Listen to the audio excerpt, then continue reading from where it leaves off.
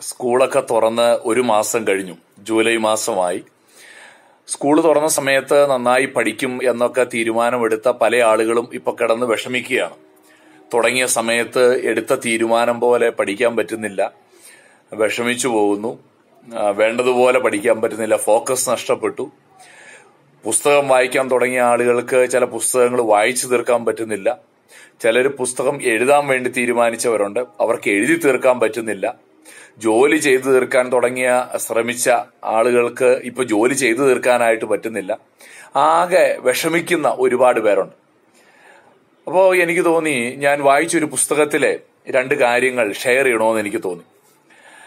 Darius forex എന്ന് പറയുന്ന ഒരാൾ എഴുതിയ ഒരു പുസ്തകമുണ്ട്. അതിനകത്ത് ഈ ജീവിതത്തിന്റെ ഫോക്കസ് നഷ്ടപ്പെട്ടാൽ എന്ത് ചെയ്യണം? എന്ന് അദ്ദേഹം പറയുന്നുണ്ട്. അദ്ദേഹം പറയുന്ന രണ്ട് കാര്യങ്ങളിൽ ഒന്നാമത്തെ കാര്യം എലിമിനേറ്റ് എന്നുള്ളതാണ്. എലിമിനേറ്റ് ചെയ്യുക എന്ന് പറഞ്ഞാൽ അദ്ദേഹം പറയുന്നത് നമ്മൾ ഒരുപാട് ആശയങ്ങളും ഒരുപാട് പുതിയ കാര്യങ്ങളും ഒക്കെ കേൾക്കുന്നുണ്ട്. അതിന്റെ എല്ലാം പുറകെ നമ്മൾ പോയി കഴിഞ്ഞാൽ നമുക്ക് ഒരിക്കലും നമ്മൾ വെച്ചിരിക്കുന്ന ലക്ഷ്യത്തിലേക്ക് നടന്നെടുക്കാനായിട്ട് പറ്റില്ല.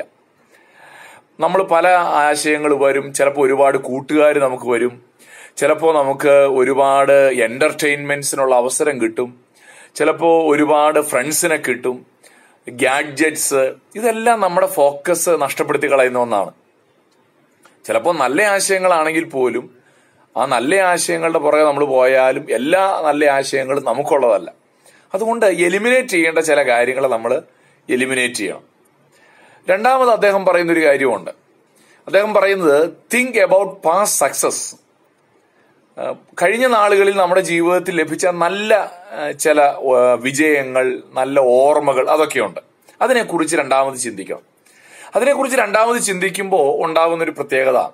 നമ്മുടെ ശരീരത്തിൽ സെറോട്ടോണിൻ എന്ന് പറയുന്ന ഒരു കെമിക്കൽ പ്രൊഡ്യൂസ് ചെയ്യും.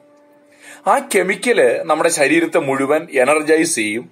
ഒരുപാട് നേരം ഒരു ലോങ് ടൈം ഫോക്കസ് ചെയ്യാനായിട്ട് നമ്മളെ സഹായിക്കും. അപ്പൊ അങ്ങനെ നമ്മൾ ഫോക്കസ് ചെയ്ത് കഴിഞ്ഞാൽ നമുക്ക് തീർച്ചയായിട്ടും നമ്മുടെ ഫോക്കസ് നഷ്ടപ്പെടാതിരിക്കാനായിട്ട് സഹായിക്കും. ഈ രണ്ട് കാര്യങ്ങളാണ് നിങ്ങളോട് പറയാൻ ഞാൻ ആഗ്രഹിച്ചത്. ഒന്ന് എലിമിനേറ്റ് ചെയ്യുക. ആവശ്യമില്ലാത്ത ഡിസ്ട്രാക്ഷൻസ് എല്ലാം എലിമിനേറ്റ് ചെയ്യുക.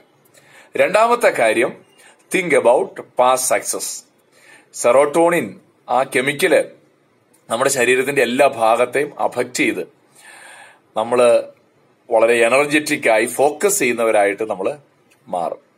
അങ്ങനെ മാറാൻ ദൈവം നമ്മളെ സഹായിക്കട്ടെ. ഫോക്കസ് നഷ്ടപ്പെടാതെ പഠിക്കാൻ ഫോക്കസ് നഷ്ടപ്പെടാതെ ജോലി ചെയ്യാൻ ഫോക്കസ് നഷ്ടപ്പെടാതെ എഴുതാൻ വായിക്കാൻ എല്ലാം ദൈവം സഹായിക്കട്ടെ. God bless you.